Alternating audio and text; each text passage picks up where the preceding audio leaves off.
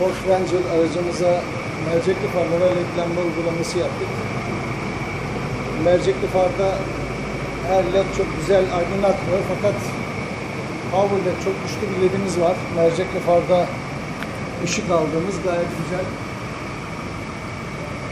Uzunlara da H15 lamba kullandık. Aynı zamanda bu araçta uzunlar bir xenon mekanizması var. Kısa farlar 9012, uzun farlar H15.